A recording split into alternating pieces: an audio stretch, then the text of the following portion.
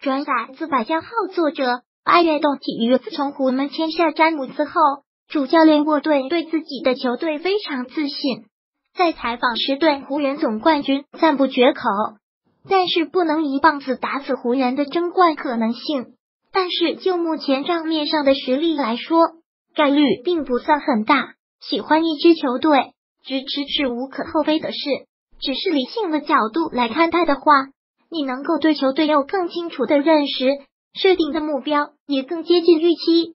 至于说沃顿的言论，我更愿意把它理解做一种鼓励和自信，不仅限于现阶段，还包括湖人的未来。所以你不能只看到字面上的意思，单纯的把这当做信仰。另外，大家别忘记，在采访詹姆斯的时候。詹姆斯亲自承认，下赛季的冠军就是勇士，并不是湖人。持球人多，但持球进攻的威胁不足。鲍尔、隆多、史蒂文斯、詹姆斯、英格拉姆、库兹马、比斯利都能一定程度上承担持球者的角色。可单论对篮筐的威胁，只有詹姆斯、英格拉姆、比斯利在水准之上，其他的球员没有足够的进攻能力。创造机会的属性自然会被削弱，比如隆多，防守球员经常放他三米远；鲍尔休赛期的投篮若没有长足的进步，也不能够在投射方面有足够的贡献。加之湖人目前的射手配备真不算出色，充其量就是波普、哈特和库兹马。仅就空间上，湖人的进攻稍显尴尬，很可能在阵地战中被拖入慢节奏绞杀的过程。内线配备，如果不出意外的话，湖人新赛季的内线是麦基，替补是瓦格纳，这样的组合在西部是很吃亏的。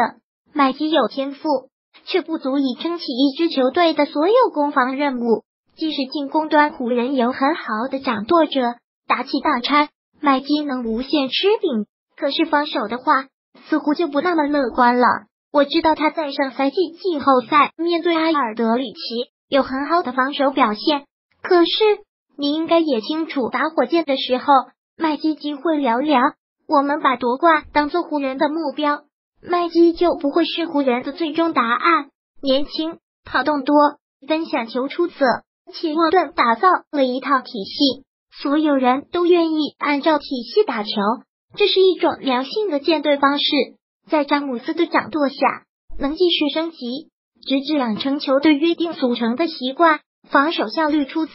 除了五号位上的防守可能不如上个赛季，其他位置的防守依旧保持着比较强势的姿态。这对于他们打防守反击是有裨益的。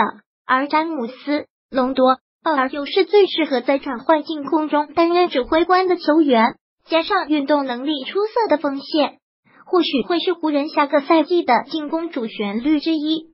其实。湖人，在考虑勇士之前，不妨先考虑火箭、雷霆、爵士这样的球队。很多球迷都在说湖人可能季后赛都进入不了，但是小编认为，只要有詹姆斯的球队，季后赛不成问题。如果他们展示出比上述球队更强劲的竞争力，再来考虑勇士也不迟。因此，好戏不怕晚，大家不如保持一点耐心。